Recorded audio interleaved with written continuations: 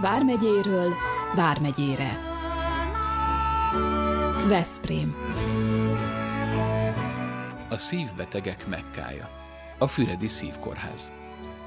A Pannonhalmi főapátság birtokainak 1716-os lajstromában szerepel a Füredi savanyúvizek fölöztőházzal bejegyzés. A környék szénsavas forrásainak vizét a 18. században már javában fürdőzésre és ivókúraként használták a gyógyulást keresők.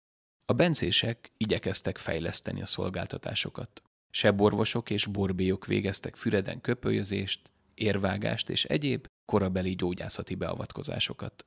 1912-ben Hajdú Tibor főapát megalapította a szívkórház elődjét.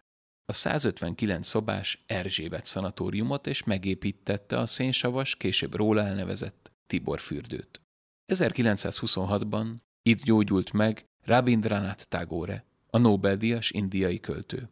Abból az időből való a mondás, miszerint Balatonfüred a szívbetegek mekkája.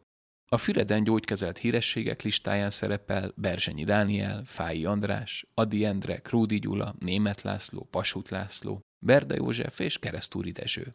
Ma a magyar kardiológiai betegek 30%-át Balatonfüreden kezelik. És mint a Semmelweis Egyetem oktatókórháza, a jövő szakorvosai is az állami szívkórházban szerezhetnek gyakorlatot ezen a tudományterületen. Ez az intézmény épp úgy hozzátartozik a város arculatához, mint a Balaton és az Annabál.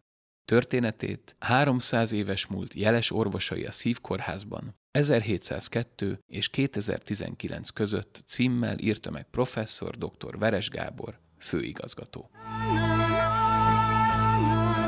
A műsorszám az Agrárminisztérium és a Hungarikum Bizottság megbízásából készült.